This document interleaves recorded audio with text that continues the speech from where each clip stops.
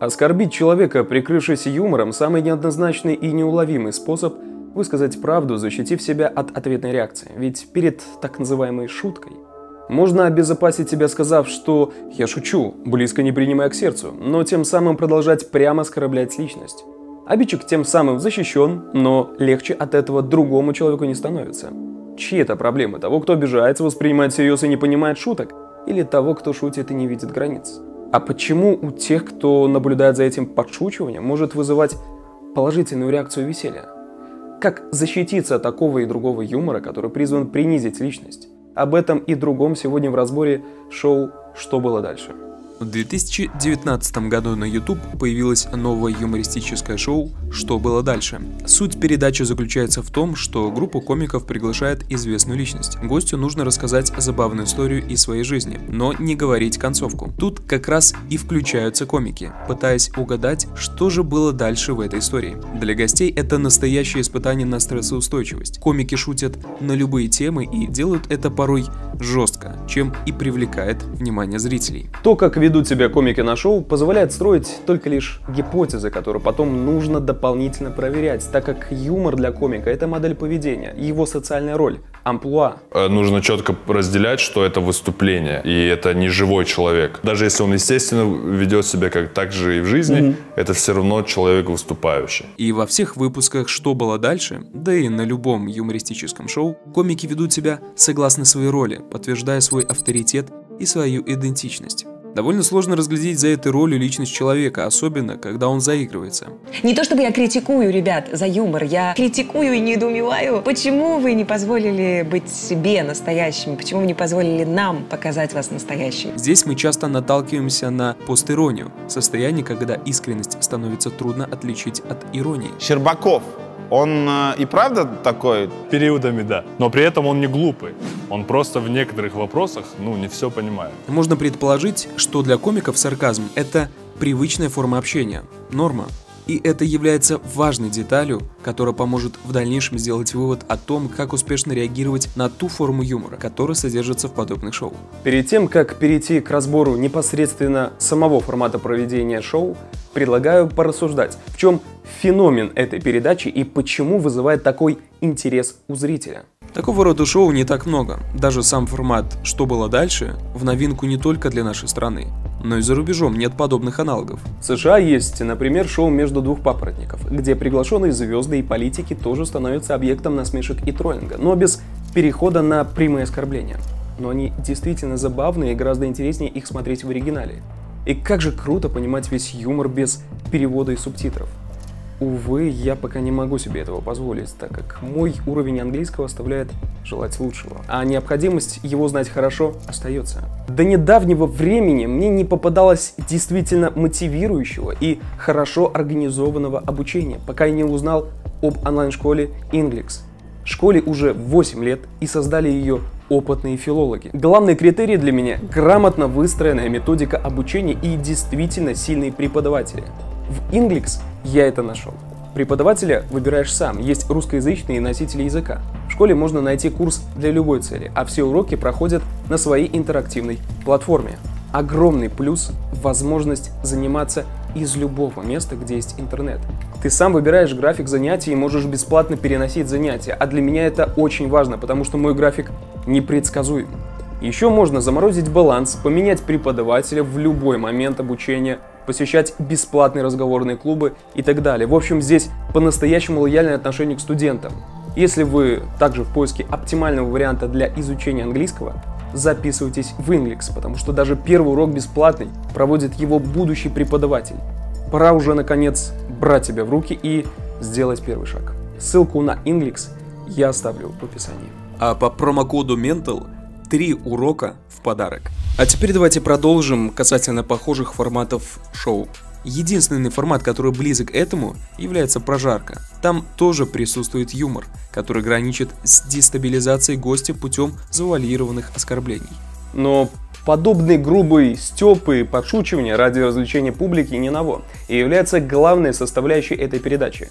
В реальной жизни практически каждый человек был участником, объектом, либо свидетелем подобных шуток над кем-то. Кому-то было смешно, кому-то обидно, но это вызывало эмоции. Поэтому с психологической точки зрения в наше время троллинга и буллинга такие шоу пользуются успехом, так как дают выход агрессивной энергии человека. Это весело для публики, потому что ее сейчас трудно чем-то удивить. Обыденные форматы не вызывают эмоционального отклика. Человек подсознательно выбирает всегда то, что ему знакомо, а такие ситуации знакомы многим. Еще одна причина успеха – это с помощью демонстрации таких ситуаций человек получает некий пример, как можно выйти красиво и с достоинством при аналогичных ситуациях в жизни, либо наоборот, как вести себя не стоит. Можно сказать, что это дает некий тренажер, дающий готовые решения поведения в критических ситуациях и моральная подготовка к ним. Ведь мало кому интересна действительно история, рассказанная гостем. Интерес вызывает то, как он справляется с натиском, который на него обрушивается. Третья причина может состоять банально в том, что нам интересно, как раскроется известная личность такой ситуации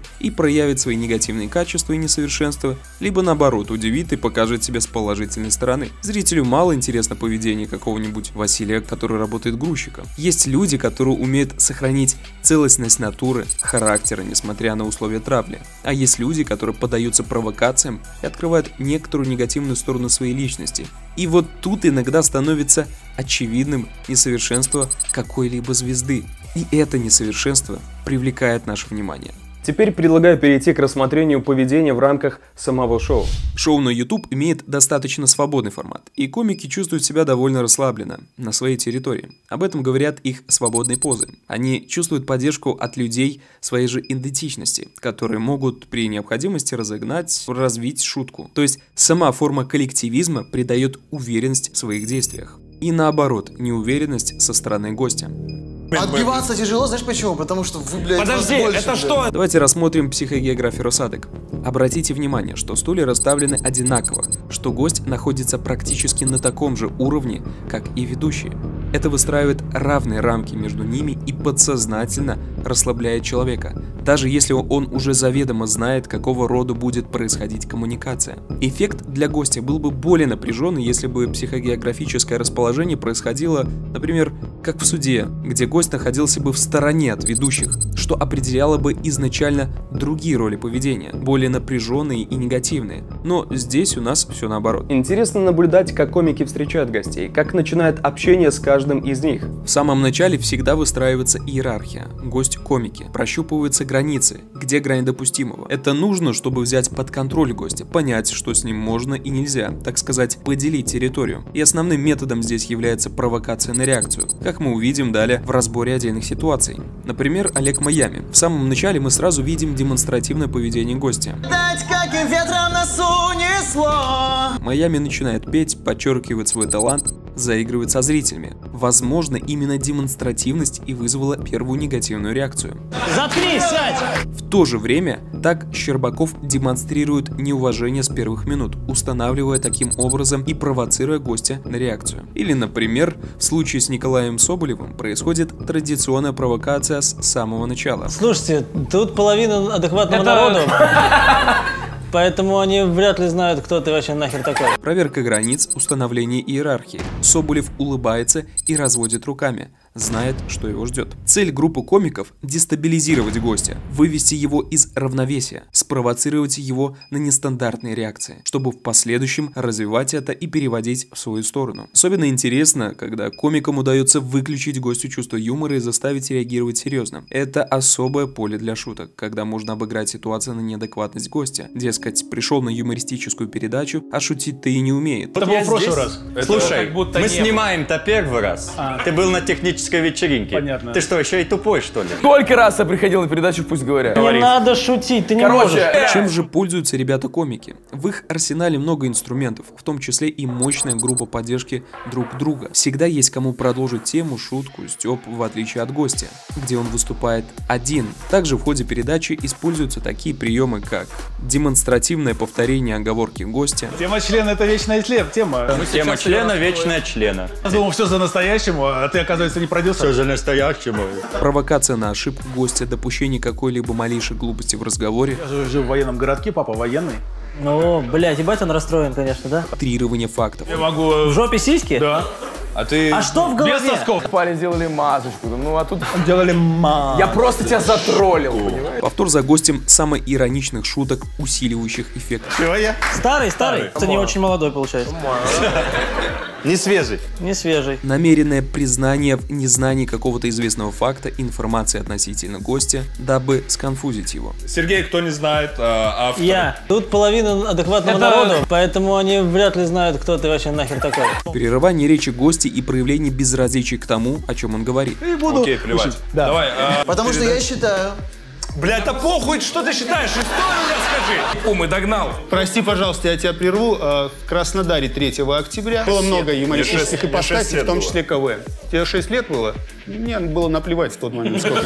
Поддержка какого-либо тезиса, сказанного гостем, с целью мнимого чувства поддержки и с целью снизить бдительность гостя, тем самым получая больше шансов на провокацию гостя. А что, ты, ты расист какой-нибудь? Ну, честно говоря, да. Да. Так, и что? Это ты. Очень приятно. Взаимно. Алексей, да, здорово. Привет. Да все нормально. Комики строят шутки на ярких и выделяющихся чертах гостей, и основной упор юмора заключен на стереотипах. Это самая банальная и примитивная форма юмора, но эффективна для моральной дестабилизации гостей и не требует времени для подготовки. Мигель, например, шутки про расизм. Если необычная внешность, шутки про уродов, фриков, монстров. Если выглядишь модно или метросексуально, шутки про геев. Яркая или необычная одежда будет осмеяна. Если гости где-то поймали на лжи, шутки про ложь. Черты характера, внешний вид, поведение, самочувствие, любые сплетни и слухи, берется совершенно все, что можно высмеять, спародировать. Зачастую гости сами дают повод прямо на шоу, так как в состоянии стресса выдают яркие реакции, за которые можно зацепиться. Давайте рассмотрим поведение нескольких гостей, которые, на мой взгляд, очень хорошо описывают технологию юмора и реакцию на них личностей из разных сфер деятельности. Олег Майами. Начал путь к славе со скандального шоу «Дом-2». Попал под опеку Фадеева, начал карьеру певца, но не является востребованным исполнителем. Мелькает в разных шоу и конкурсах, старается засветиться где возможно. После очередной провокации Майами ввязывается в конфликт, отвечая агрессивно. У Амирана шаурма вкусная. знаешь, не Успел пробовал. распробовать? Вот я не пробовал. А член? Ну вы же работаете тоже, ведь что, вы член друг друга не пробовали? Нет, не пробовали. Таким образом, Майами пытается как-то адаптироваться к шуткам комиков, но в целом плохо справляется с агрессией и часто выходит на конфликт. Пауза, Так Олега. а что, так ну давайте рулите, блядь, рассказывайте уже историю Да, или нет? да, да. Давай так, если будешь пиздеть, будешь сам рассказывать, понял? Угадывать, блядь, что там было дальше. чем только провоцирует комиков еще больше. А что? Главное, не выебывайся просто. Ребят, у вас просто такой жизни никогда не будет. Да Пиздец, нахуй она не нужна. К слову, этот прием называют «зеленый виноград» – сохранение своего лица, спасение себя через обвинение другого или когда высказывают показное равнодушие к тому, что сам не в силах достичь. Ребят, у вас просто такой жизни никогда не будет. Очередная вспышка гнева от Майами. Так надо продолжить историю, а не, блядь, мою коверкать. Опять провоцирует всех на ответную агрессию. Конфликт продолжается до конца шоу. Полное отсутствие контакта и понимания между гостем и комиками. Когда Майами пытается рассказать историю, большую часть времени смотрит в камеру. Итак, моя история будет про отдых. Можно предположить, что таким образом отгораживается от происходящего, так как нет контакта с комиками и некому рассказать. Снижает возникшую когнитивную нагрузку, резко меняет агрессию на смех, резкая смена эмоций, импульсивен, неадекватные реакции, очевидно зашкаливающее состояние стресса. Уязвимое самолюбие моментально обижается и переходит в позицию защиты. Прямые оскорбления, сарказм, выражение презрения на лице. Демонстративностью и понтами вызвал у всех комиков агрессию, что в итоге привело к травле. Понты в случае Майами – защитная реакция, средство унизить других и возвыситься самому через деньги и красивую жизнь, особенно в ситуации стресса. Это сказал человек, который делает антирекламу Пуме. Нет, я рекламу делаю. Пума, пожалуйста, напишите ему в директ, пусть порекламирует. Пума, напишите Олегу что он долбоеб. Перестань завидовать, пожалуйста. У тебя тоже будет хорошая одежда. Поработай еще немножко. В итоге, находясь в непривычном для себя контексте, не сумел подобрать нужный инструмент реакции на такие выпады, так как не знал, как правильно реагировать в таких ситуациях. Другие контексты предполагали другие выходы из подобных ситуаций и, возможно, когда-то срабатывали, но здесь он не оценил правила в рамках этого конкретного шоу. Сами комики, как оказалось, впоследствии сожалели о том, как все вышло на шоу. С первым гостем а, не случилось вообще никакого контакта. Не, не совсем добродушно. И мы как напали, как собаки, чересчур, возможно, временами. Николай Соболев. Видеоблогер с большой аудиторией, освещает самые резонансные события для привлечения подписчиков, часто является гостем различных, чаще скандальных шоу. В медиапространстве имеет репутацию пафосного, эгоцентричного и самовлюбленного человека. Из-за этой самой репутации у комиков заранее предвзятые отношения. Поэтому в течение шоу много оскорблений, пародий на его самовлюбленность и демонстративное поведение. Он же потом на это обзор сделает. Типа, разоблачение. Да вы уже обо мне фактов перечислили больше, чем я о себе, ребята. Ну, Николай Соболев выделяет слово «меня». худшая презентация меня. К этому сразу же все цепляются, считая хорошим поводом высмеять яркие черты гостя, пафос и самовлюбленность. Меня! Тамби делает вид, что не знает Соболева, называя Сергеем. Я правильно понимаю? Сергей Соболев. Это похоже на принижение значимости. Я даже не знаю, кто ты такой. Провокация на реакцию. Соболев реагирует позитивно, улыбается и подакивает. Он относительно спокойно реагирует на оскорбления. Да давай. Сколько раз я приходил на передачу «Пусть говорят»? Всем похуй. Например, удалить свой канал нахуй. Ты Вот так вот сейчас. не имеете. Где-то вежливо улыбается, где-то искренне смеется. Ну, буду сказать. Есть и такая забавная реакция. Но в целом в нем виден возникший стресс и сильное волнение. Он осознает свои яркие черты, знает, что его ненавидят за пафос. Сколько, сколько у тебя подписчиков? Где-то 4,8, там 5 миллионов. Ну, достаточно пользу. скромно сейчас, не? Но в этом вопросе звучит вызов, обида. Его все-таки задевает за живое. Ну, достаточно пользу. скромно сейчас, не? Пользу. Соболев хорошо умеет излагать мысли, хорошо образован, умеет себя вести в конфликтных и стрессовых ситуациях. Это мы видели и в других видео на моем канале. Может посмеяться над собой. Когда, например, комики высмеют лексикон Соболева, Ну, Галдежники, ну... галдежники, Как не сколько знаю тебе кто. лет? Я вас сейчас как- рассажу, Камчатка. Ситуация патовая, потому что, ну, Какая? как бы... он признает, что сейчас в стрессе, что мы, собственно, можем и наблюдать по его невербальному поведению и активизации вегетативно-нервной системы. И я уже неоднократно давал характеристику своих видео тому, как по невербальным сигналам определить эмоциональное состояние и предлагаю это сделать сейчас вам.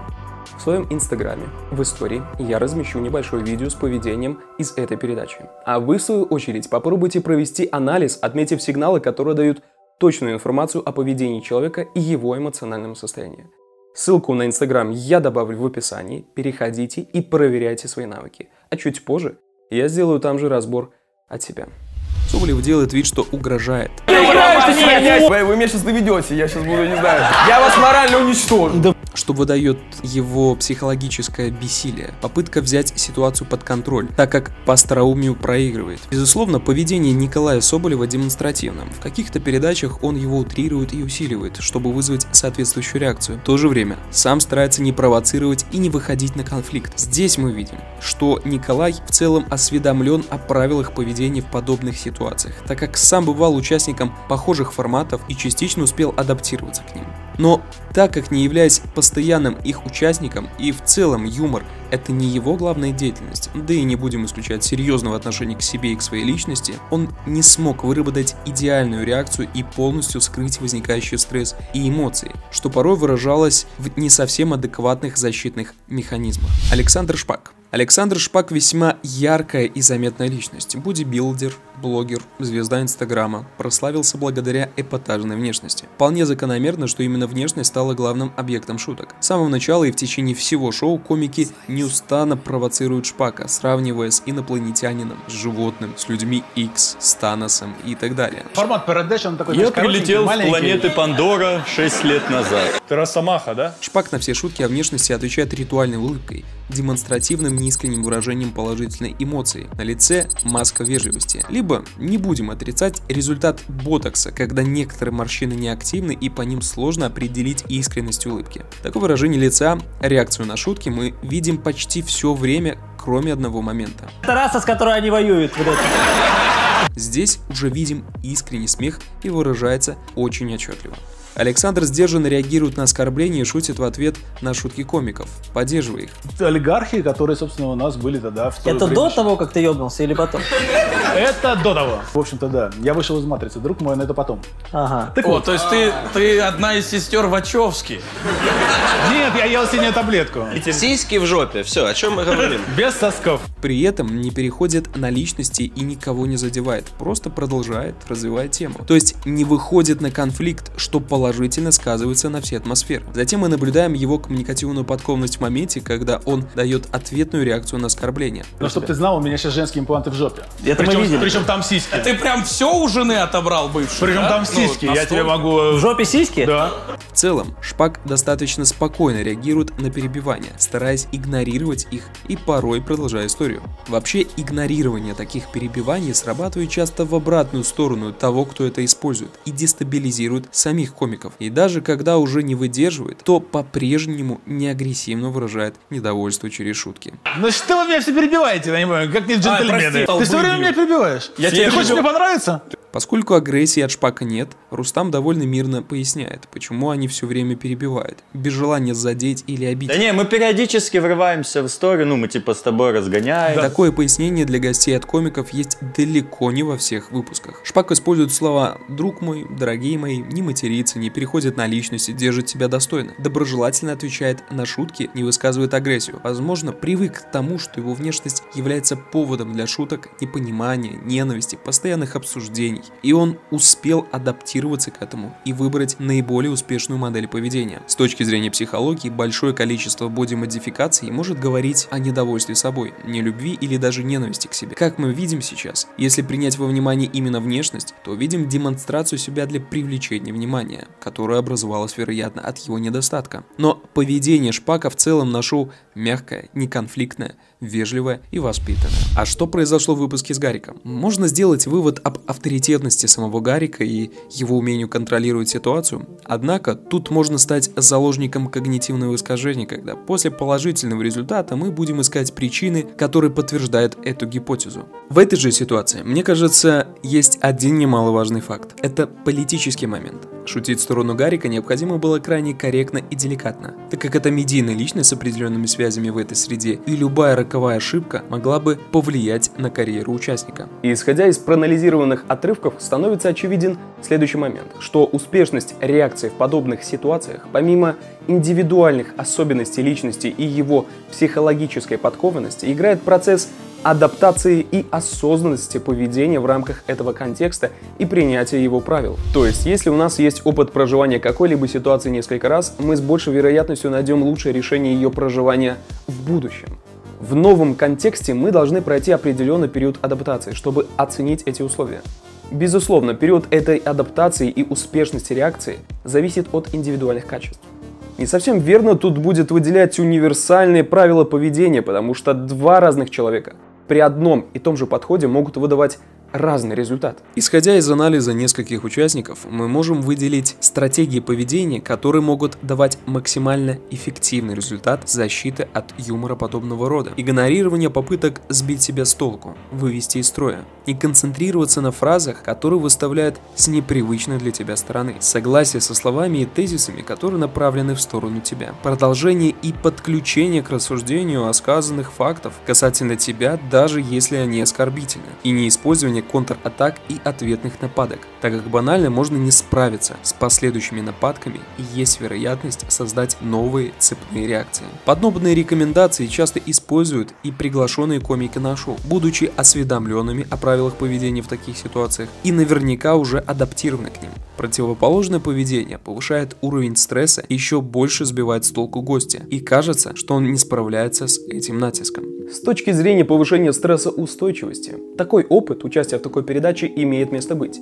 Но нужно помнить, где начинается юмор одного, для другого он заканчивается. Неосторожно сказанная шутка может являться шуткой только для одного объекта коммуникации.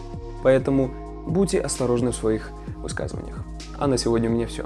Наблюдайте за людьми, чтобы не оставаться в дураках и быть на шаг впереди. Скоро увидимся.